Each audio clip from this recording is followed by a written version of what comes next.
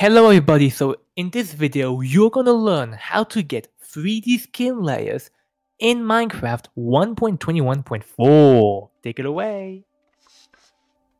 That's right. So, the first step that you're want to do is just go over to your browser. As you can see, I'm now in my browser, and you're want to type in modrinth.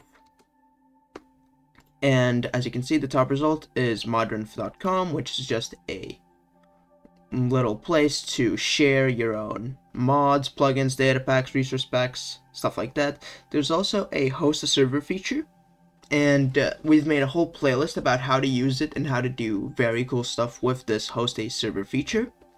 So that will be linked in the description. So here we're just interested in discover content, mods, and you just type in 3D skin layers, as you can see right here. 3D skin layers by TR7ZW. So, you just click on this, then you click on versions, and as you can see, this 1.21.4 for fabric, we just click on it, and it has these dependencies which is Fabric API. So we need Fabric API, and Fabric API only works on Fabric, as you can see from the loaders, loaders Fabric, which means we need Fabric and Fabric API as well. So we just click on download, and then we type in Fabric MC, and you'll have fabricmc.net, which will be the top result.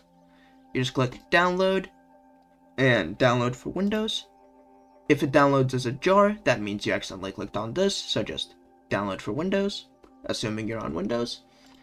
And here you'll have Fabric Installer and Skin Layers 3D. Uh, then, you open up a new tab and type in Fabric API. And you'll have this Modrinth page.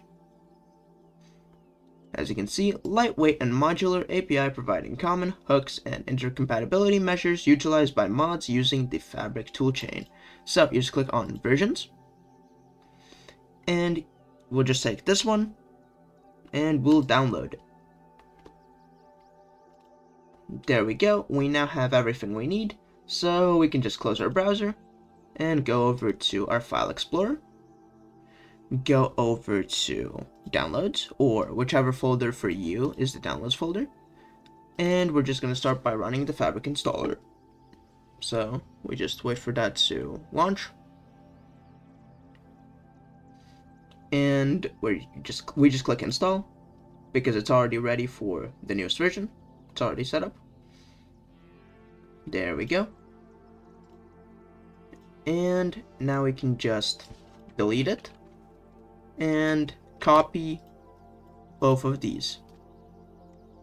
We just copy them, and now we do Windows plus R, which, and type in percent app data percent, which will take you here. Then you just click on dot Minecraft. Then you click on mods.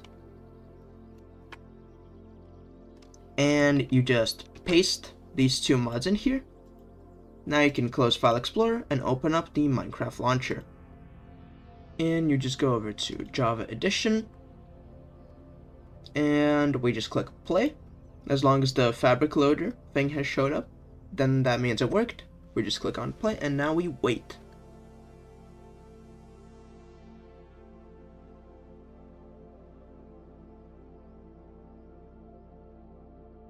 So as you can see, we are now in Minecraft, and down here it says Minecraft 1.21.4 slash fabric modded.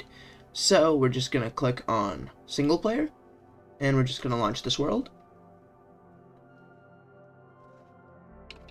And we're just gonna wait for the world to load. It's not gonna take all that long. There we go. And if you go into free, you can see skins are now 3D.